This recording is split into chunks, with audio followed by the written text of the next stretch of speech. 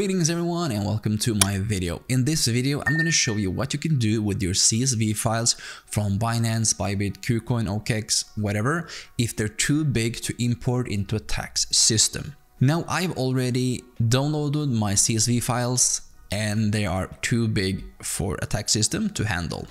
As you can see here, they are 66 megabyte each and as you can see here on CoinLedger, they only support up to 20 megabits per file. So that's not gonna work, but you can use a CSV splitter. Here I have a splitter, just upload your files, click load files. So now I uploaded my file, I split it into four, now let's take a look at them.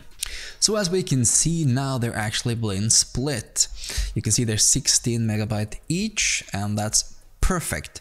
Now do remember that sometimes when you use this tool, it will forget to add .csv behind it.